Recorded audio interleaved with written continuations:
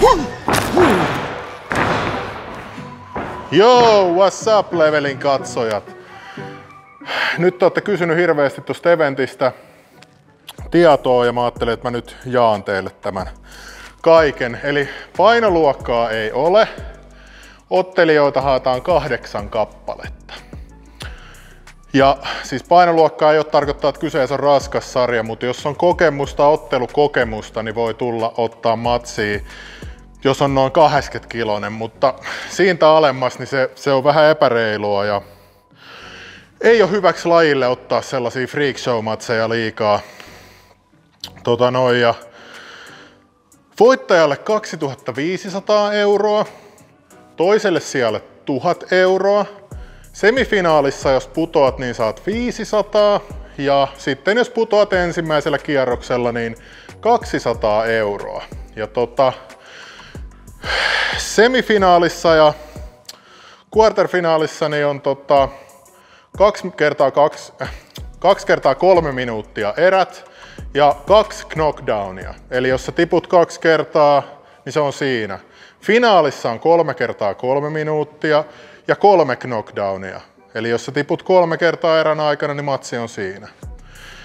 Tämä on sitä varten, että jätkät olisi kunnossa siellä finaalissa vielä sitten, että ei tule ruumiita. Ja Antero Hynynen on tässä hyvin konsultoinut mua, auttanut tosi paljon ja samoin Starbuck. Täällä me ollaan nyt täällä salilla, mihin tää tulee. Täällä on nyt vähän roipetta, mutta tämä siivotaan sitten tapahtumaa Paikalla tulee olemaan sitten 4K-kamera plus 360 kamera, mistä voitte vähän katosta katsoa tuota tapahtumaa. Ja tapahtuma järjestetään 29. päivä tätä kuuta.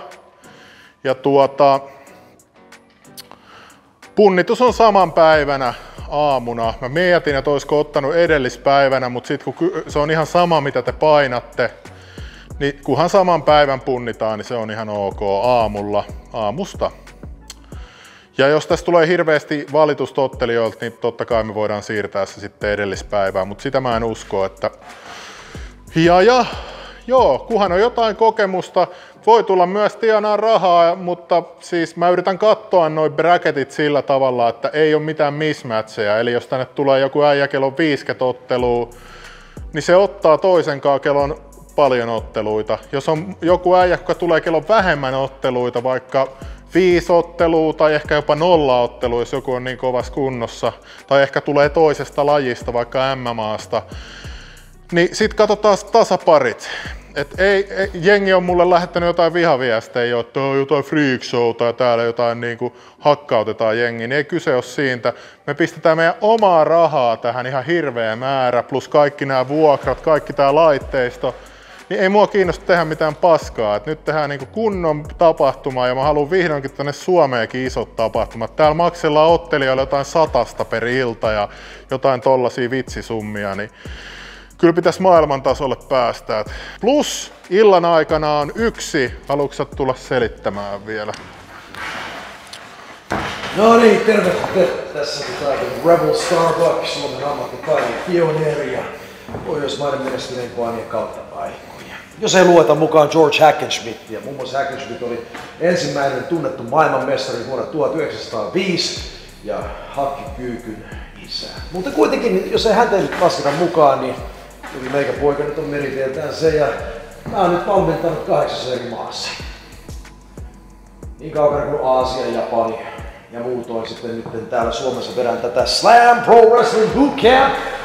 Toivon ja ammattipainikoulu ja kaksi mun parasta oppilasta. Dylan Broda Kanadasta ja TT Suosalo Tampereelta ottavat nokittain vastakkain tässä kehässä 29.5.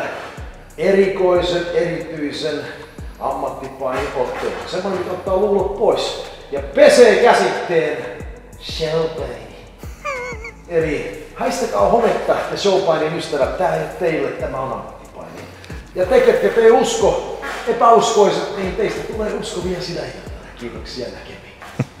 Joo, tosiaan yrittää vähän tällaista Japani-meininkiä, että on, on tota pro wrestlingia ja sitten on, on kickboxingia, niin kuin Japanissa on pitkään ollut traditiona. Ja tää oli mukavaa, että tämä onnistui näin. Ja ei kai mulla muuta, laittakaa kommenttia, kysymyksiä ja tota, mä laitan nyt kaikki tiedot tähän descriptioniin, mitä mä ikinä keksin. Ja tota, tosiaan ottelijalla voi olla vain kaksi huoltajaa mukana, koska meillä on nämä rajoitukset, niin me ei voida ottaa tänne mitään viittä huoltajaa per ottelija, vaan mielellään yksi, mutta kaksi, jos on niin kuin, no se on yleensä se kaksi aina, että vedetään sillä, se on ihan hyvä. Ja ei kai tässä muuta.